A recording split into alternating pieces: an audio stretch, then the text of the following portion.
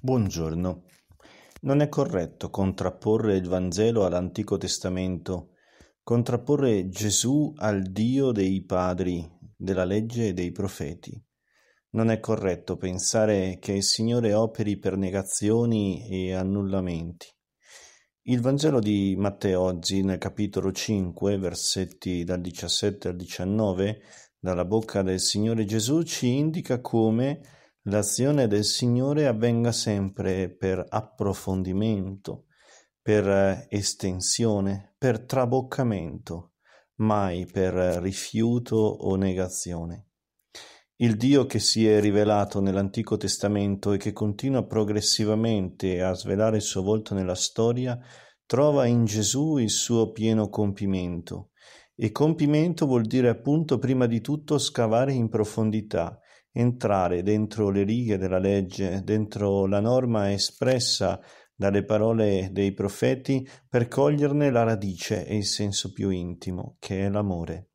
Approfondire dunque le regole, approfondire quelle che sono le indicazioni di cui è costellato il percorso del popolo di Israele, ma anche ogni cammino spirituale. Approfondire per capire che l'amore che sta alla base di tutto ha bisogno di ordinamento e indicazioni per poter essere vissuto adeguatamente. Portare a compimento per Gesù significa riportarci a questa radice senza perdere di vista il tronco, i rami, le foglie e soprattutto i frutti.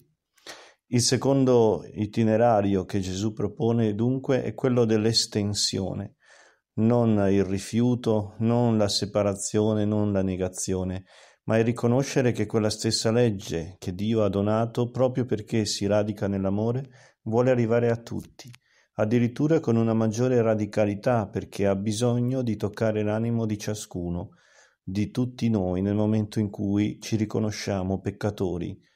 La legge infatti è percorso che riconosce la dimensione della creatura peccatrice, l'amore che sta alla base e che in Gesù si manifesta permette di perdonare questo peccato e dunque dona la salvezza, una salvezza senza confini, illimitata, che si estende fino ai confini del mondo, che vuole raggiungere tutti gli uomini e le donne di tutta la terra e di tutta la storia.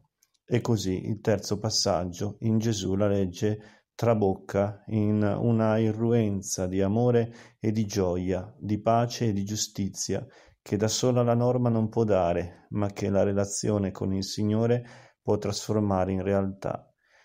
L'amore trabocca perché è il cuore di Gesù, è il cuore di Dio donato per la nostra salvezza.